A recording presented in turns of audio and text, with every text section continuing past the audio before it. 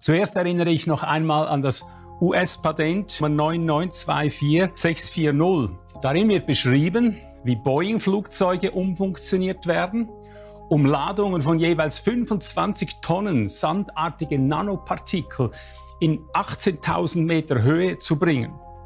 Der Grund? Um unser Wetter und unser Klima zu steuern, zu manipulieren.